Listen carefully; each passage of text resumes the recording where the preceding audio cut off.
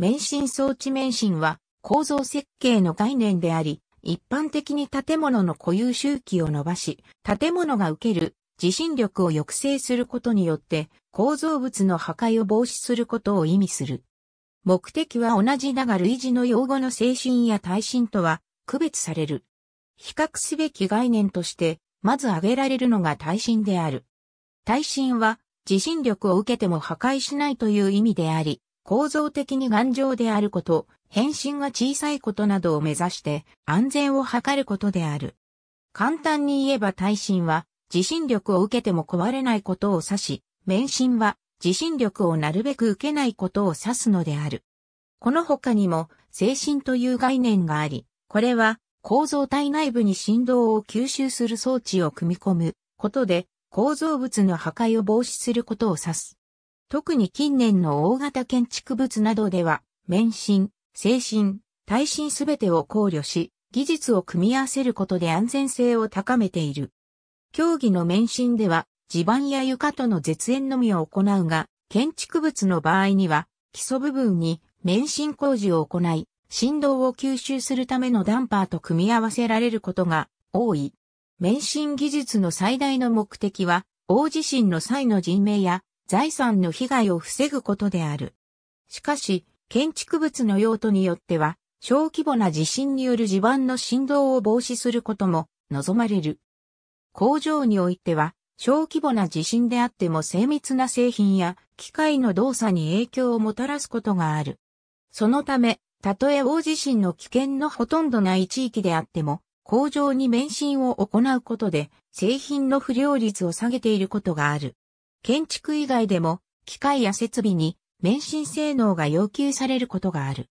例えばデータセンターなどではサーバーマシンにダンパーやアイソレータで免震措置を施し、衝撃によるデータの損失を防いでいることが多い。近年ではデータセンター等のスペック表示において免震が強調されている。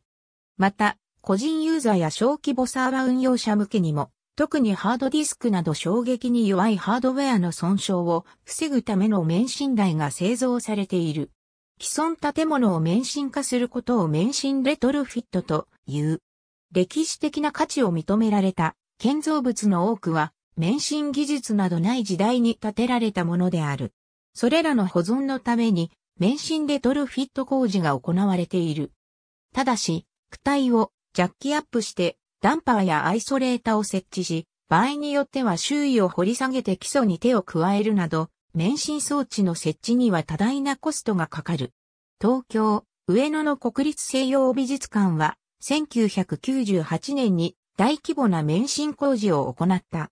もともと免震構造を持たない建築物であったが、地下部分を含めた建物全体のもとに免震機構を設置し、全体を浮かせるような形へと改修したのである。さらに、芸術品を地震から守る措置の一環として、前提の地獄の門などのオーギュストロダン作の彫刻群に免震台を設置した。住宅の免震化は工事が難しい、あるいは建物重量が軽いために効果が薄いとされてきたが、近年では住宅メーカーなどの企業、あるいは産学共同プロジェクト等において様々な免震装置や思考技術が開発されている。その方法も積層ゴムと金属ダンパーの組み合わせやメカニカルなスライダー方式など多岐にわたっている。既存住宅であっても上部構造の耐震化に加えて基礎部分への免震機構の追加という選択肢が登場した。戸建て住宅の免震化は建物重量が軽いために難しいとされている。住宅メーカーで最初に免震住宅に取り組んだのは三井ホーム。しかし、高額なため普及はしなかった。住宅メーカーで戸建ての免震住宅で大きなシェアを占めているのは一条工務店。積層ゴムとスライダーというシンプルな装置を安価で供給することで普及促進を実現した。その後に積水ハウス、大和ハウス工業と続いている。戸建て免震として建物の床下に鉄骨課題と免震装置を設置するシンドカットという製品も出ている。ありがとうございます。